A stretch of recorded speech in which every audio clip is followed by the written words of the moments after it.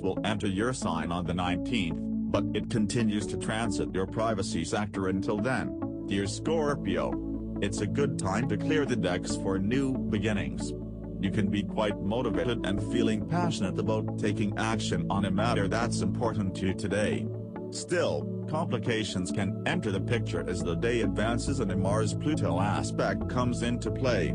Unresolved tension or resentment can lead to communications that don't do you any favors or poor timing.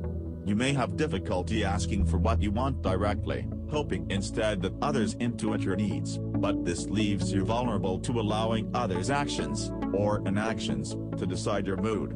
Do your best to ease and settle your mind. Being kind to yourself may involve letting a matter go, as challenging as that may be at the moment.